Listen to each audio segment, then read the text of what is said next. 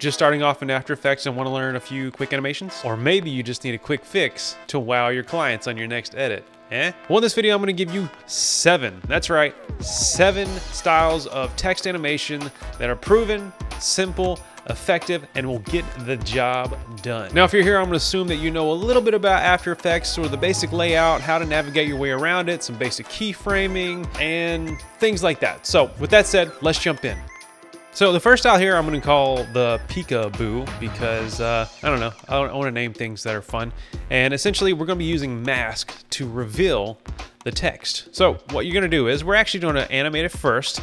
So I'm going to toggle this down or hit P for position. To open up the position property here, we're going to go about 10 frames up. You can do that by hitting Command Shift and right arrow. That'll go 10 frames up, or you can just move it up 10 frames, whatever you want to do. Hit the position keyframe button right here and then we're going to go back and then hit it again uh, this will set up the keyframe frames from point A to point B as you probably know since you are you know things about keyframes now and then we're going to just basically have it go down you know somewhere in there and then there we go. It's gonna just kind of move up into nowhere. So with that done, we're going to we're gonna place our time indicator right here, and then we're gonna go up here and grab the rectangle tool. You wanna make sure you're not highlighted down here. Go up here, grab the rectangle tool, wherever your tool set might be. You might be on the side somewhere, but mine's up here on top. So I'm gonna have my time uh, line indicator right here on the on this one right here. What we're gonna do is actually get the shape tool from up here, the rectangle tool. You can hit Q on here as well, but I like to just pick it. It can be, you might have it on circle, round, or whatever. We're just gonna do the rectangle. Rectangle's fine. And I'm gonna go right underneath the text, like right here. I might move it up a little bit, but let's just draw it for now. And then, you know, I'm gonna go like right there, right underneath it. And as you can see, the text goes behind this shape layer. So what we're gonna do, we're gonna make this shape layer disappear by using track mattes. So you can see here, it's it's moving above, it's peekabooing, you know, but now we need to make that matte go away. So what we want to do is make sure that our track matte um, column is open essentially. And if you don't see it, it's probably because you have it toggled off. So you want to toggle this on and make sure and just make sure it's on. And then what we're going to do is set our track matte to alpha inverted. If you do alpha matte, you'll see what happens. It actually will track it to the shape itself. So it only appears when the shape is actually there. However you want to work, you can actually put the shape on top of it if you wanted to. I, put, I happen to put it on uh, uh, on top uh, underneath it right now. So we're gonna go alpha inverted. And so what that does is basically anytime it's you know in front of or behind the track, it'll disappear and once it goes you know once it goes away from the, the, the track matte it'll appear now you can see it's behind the shape you can see my little guides right here the shape has disappeared because it's now tracking to my text and then you hit play, and you can see it come up the peekaboo. And we can obviously go in here and we can ease these up, right click, work. You can right click and go, you know, easy ease or hit F9, and it'll make a little bit smoother. So there you have it, and you or you can go if you want to go into the into this and smooth it out there as well. So that was your first one, the peekaboo. All right, and for style number two, I am calling this the whisper. So for the whisper, we'll, we'll be essentially doing the same thing motion-wise for the text. We're just gonna be doing a different style. It's nice and easy. We're gonna open up the position toggle by hitting P, position it over, and here's a new, new little shortcut trick. If you hit Option arrow or Option Shift arrow, it'll actually move that keyframe over 10 frames. So that's Option Shift arrow, move that over 10 frames. This is kind of where we want things to land. I'm gonna go ahead and move it down just a little bit, you know, right in there somewhere. And there we have a the Whisper. Let's go ahead and ease that bad boy by hitting F9 and we'll give a little bit of an ease. I'm not gonna get into the graph today, but the graph editor is great to make it for making this ease go a little bit better. Or this is just a sidebar. If you have Flow on After Effects scripts, which I can leave a link down below, you can actually create some nice, beautiful curves hit apply, and we have the whisper. See how the thing just kind of looks nice and, and yummy right now. So from there, we're gonna actually hit the T button for opacity, and we're gonna, mm, I hit the T button right now just to kind of set the opacity. I'm gonna knock that up five frames, so one, two, three, four, five, and then we're gonna knock it down to zero. So it's gonna fade up and also come up. So we the whisper. So that's essentially what it did. It kind of just whispered out of nowhere like the air. And we can actually, if you hit U, you can see all your keyframes. We can make this even longer to make it more of a whisper type effect. We'll go whisper. There we go. Nice and long and whispery. There you go. Number two, the whisper. Now you can also take this a step further and separate the two words out, like the and whisper, and then stagger it a few frames. Because the the and whisper, I can do that real quick. I have this tool called Decompose Text, which I'll also stick in the um, in a link below. We can do it by words. Hit decompose. As you can see, it separates it out. And then, oh, for some reason, I still have this thing on. The man behind the curtain. No track matte. No track matte. And we'll get rid of that back up there. All right, so as you can see here, we'll have open keyframes and then you can stagger this a few frames right here. That's probably about what, one, two, three, four, five, six, seven. Oh, that thing's still on, turn that off. There you go, The Whisper. There you go. That was style number two, called The Whisper. All right, and for our next one, this one is called jitters. Now, I like this approach a lot. It's simple, it's easy, it's fast. Let's go, let's just jump right into it. We have our text on here. And what I'm gonna do is actually, I'm going to move my cursor over three frames. So if you hit command and then right arrow, one, two, three. We're gonna be, we're gonna, it's gonna be right there. And what we're gonna do is we're actually gonna cut that. So command shift D will chop this up. So command shift D, or you can duplicate it and do some other stuff. Just, just learn command shift D, it's amazing so you can chop things up. So there's that one. We're gonna do it again. One, two, three. Command Shift D as your shortcut. This will chop it. This will cut it. This will cut the layer. And then what we're gonna do is make it jittery because you know coffee and stuff. So we're going to just increase the size of this one. So hit S, and then we're gonna make it huge, right? Then we're to go to the next one, and we're gonna actually go smaller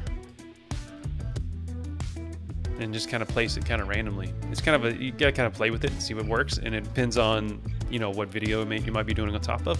But this is essentially what it looks like. And what I'm actually to do is move this over about a frame or two to give it a little leeway. Three three frames. Three frames is always a kind of a nice thing. We're gonna go. You see that?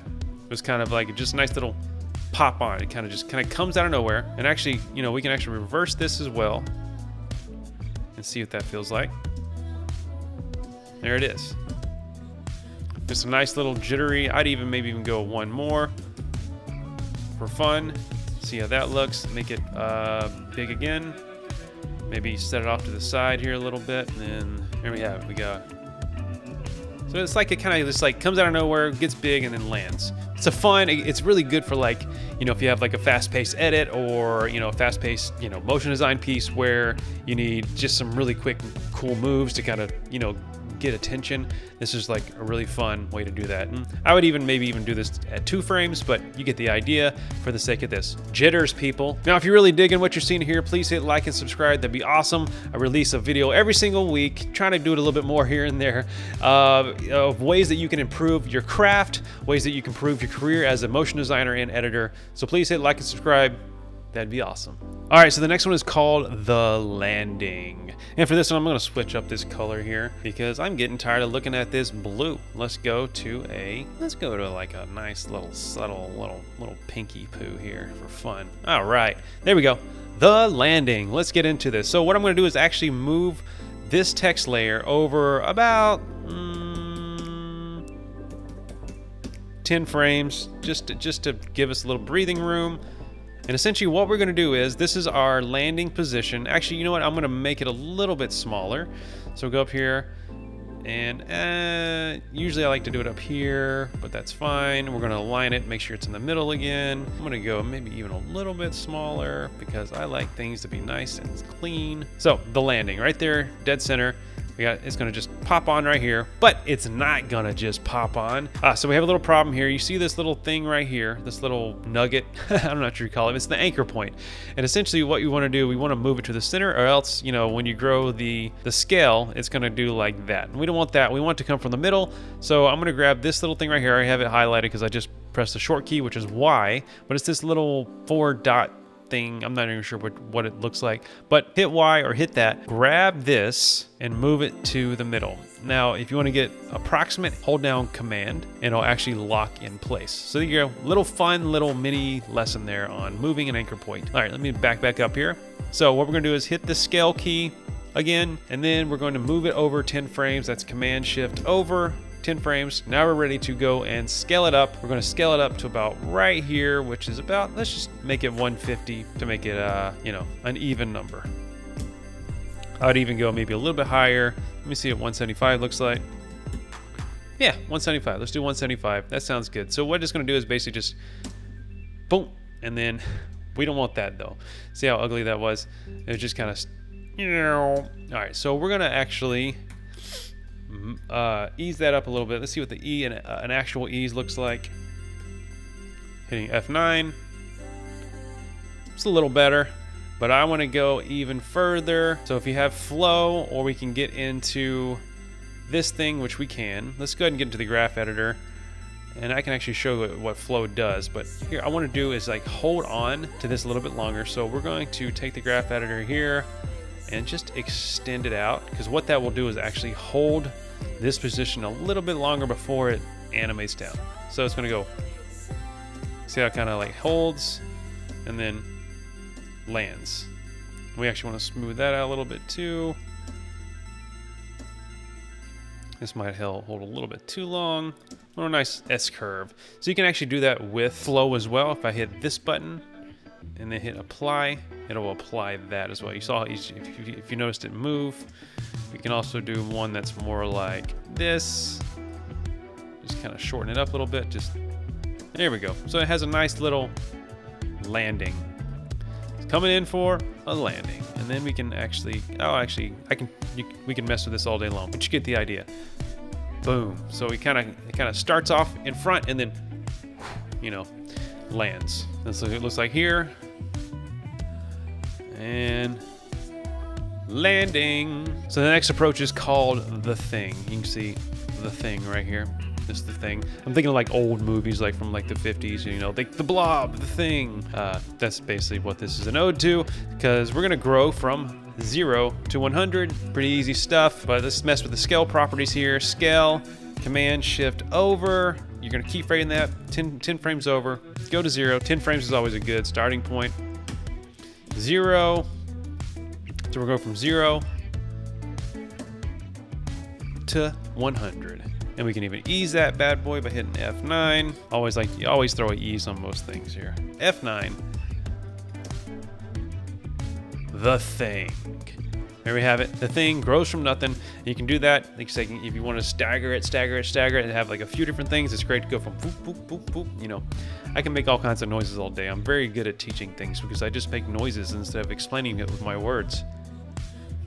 All right, this is the thing part two because we're going to take what we just did just now and just give it a little bit more of a growing thing, a growing feeling. So I'm actually going to toggle this down and we're going to go to text. See this little text properties right here? Text, and we're actually going to go hit this button right here, animate, tracking. Easy stuff. I know it's kind of a little bit more advanced if you're not used to the text properties and then text animate, and then tracking. Hit that. This little thing's going to come down. And what we're going to do is start here. Let me get this out of the way to clean this up a little bit. So we're going to keyframe the track amount. This is at zero right now. And then we're just going to go into the future. Let's say this thing's going to be up for five seconds. We want it to track for the entire time. So we're going to, oh, boy, there it goes again. So one thing you want to make sure is that, you know, when you are tracking from the center is that it's, you know, center text. Uh, I still mess with my anchor point a little bit, which is very just kind of just just one of the things you got to juggle in After Effects. You get used to it after a while, and it kind of it'll come naturally. So we have the thing starting here is from the center, and then we're going to track it. There it is at zero, and we're going to go all the way into space at five because this is a five second text animation and we're going to just track it into how we see fit. Something like that. What is that? 25? Sounds good. But essentially what it does is like it grows and then it keeps growing, baby. Pretty good stuff. We can even ease that as well to keep it going. So that's how you track and grow, grow and track actually some text. We'll just keep it going here one more time because it looks pretty neat. Ding. All right, next up we have the Come From Nowhere, and it is suiting, or suiting, suiting, suited, whatever. It's it's befitting. It's befitting because the text comes from nowhere. Let's check it out. So we're gonna go down here and see this text right here, come from nowhere. We're actually going to make it come from nowhere. So hit the P for position. We're going to hit Option P to create a keyframe, and then we're gonna move it 10 frames forward. That is Option Shift over. As you can see, there are a lot, there are a number of keyframe or a number of shortcuts here that I use consistently on my keyboard. And once you learn them, it makes your life so much easier. I suggest you learn them. Perhaps, you know, leave a comment below if you want me to make another video that just gives you all the top uh, shortcuts that you could possibly ever use in After Effects on the regular to help you save time. Happy to make a video about that. Just let me know. We're here. We're gonna go ahead and just take this off screen and it's gonna come from nowhere. Come from nowhere, baby. Oh, actually looks like my, uh, my position key is off a little bit here. So I'm gonna make sure this is the same. 204, 364, we want it to be 364. Make sure that all lines up so it's pretty. And then come from nowhere. So eventually, event, basically it just came from nowhere. Like you can do this from, you know, the top of your screen as well. We'll just do that for fun. You can go up here and then, you know, make sure it's aligned. I'm just gonna do it down and dirty right now. Come from nowhere. We can do it, you know, from below and you can do it per word. Have one word come over here, one over here. It's the come from nowhere. I use it all the time. From here, I like doing things up.